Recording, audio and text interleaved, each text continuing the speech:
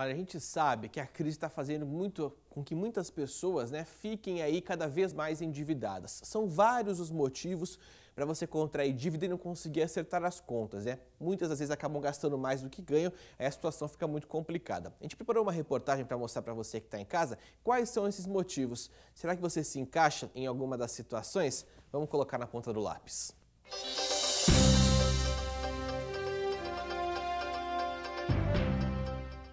Quem aí consegue gastar dinheiro do jeito certo?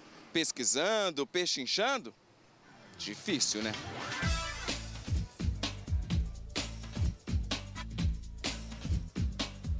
Não tem jeito, não tem como. As coisas estão muito altas, né? Então a gente mesmo tentando equilibrar, é sempre passa um pouquinho, né? É um desafio, né? Mas fica tranquilo que você não está sozinho, não. Uma pesquisa feita em todas as capitais mostrou que seis em cada dez brasileiros não conseguem ter controle dos gastos. O motivo é a falta do hábito de disciplina.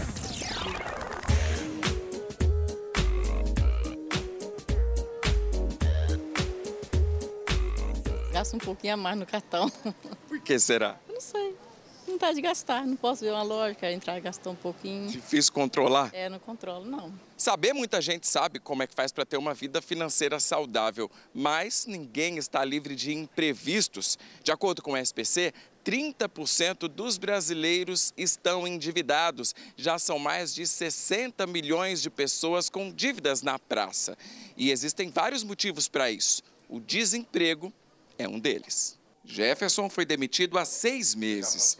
Empréstimo, cartão, crediários em lojas, tá tudo atrasado. Devo bastante, mas pago quando eu puder, porque meu nome tá sujo, não tem nem como limpar. Jefferson, meu amigo, para o seu caso, a gente decidiu procurar um especialista. Professor Marco Aurélio está aqui. Tem solução para o Jefferson, Marco?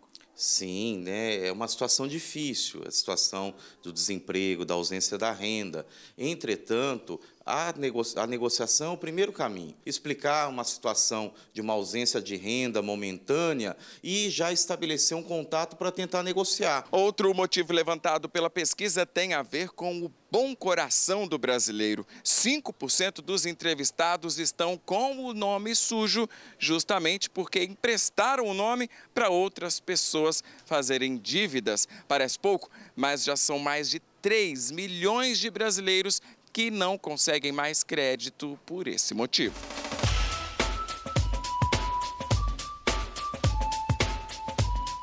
Eu ajudo, tanto é que eu estou saindo da loja que eu vim ajudar duas famílias a comprar no meu nome. E só não tem medo? Não. 20 anos atrás eu já faço isso.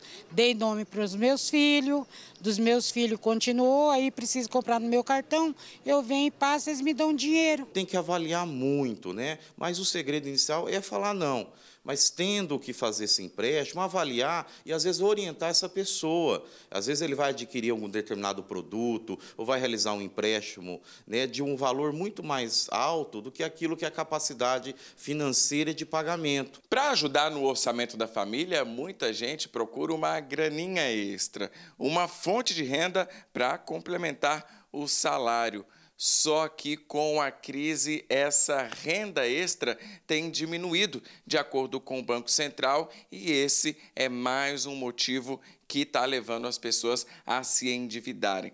Tá vendo tudo isso aqui de produto de salão de beleza? Pois é, ele pertence à Ana. A Ana é uma auxiliar administrativa, teve que procurar um outro emprego para complementar o salário da família e passou a atender em domicílio. Só que as clientes sumiram. Isso, elas deram uma, uma boa diminuída. E com isso também apareceu o famoso fiado, né? Então a gente acaba esperando para poder ter a cliente, só que o representante não espera. Então a gente tem que pagar e ainda não recebe.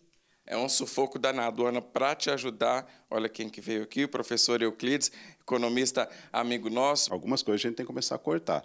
É, coisas até que a gente gosta muito, a gente tem que cortar. Se a gente vai sentir falta, né, isso é um, a gente tem que imaginar como algo temporário, que logo, logo esperamos que tudo retorne ao normal. Eita, que sacrifício, hein, Ana? Difícil, né? Mas, mas seu jeito. É, não tem jeito mesmo. Para esticar o nosso dinheiro, a gente tem que fazer sacrifícios, como cortar gastos, por exemplo, além da disciplina e disposição para controlar as compras.